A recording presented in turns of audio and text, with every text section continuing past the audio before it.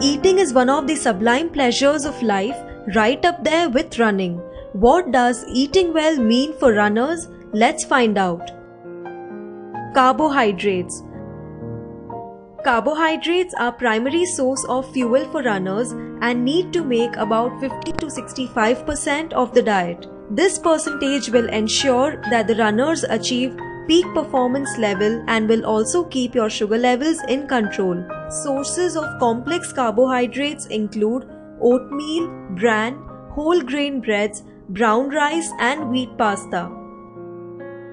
Proteins After having an intense workout session, you need to ensure your lean muscle tissue recovery and proteins are just right for that. They not only support your tissue recovery but also help preserve your lean muscles. Lean protein sources include fish, chicken, tofu and low-fat dairy products. Healthy fats Consuming a fair amount of healthy fats can improve satiety with each meal, thereby preventing hunger pangs between meals.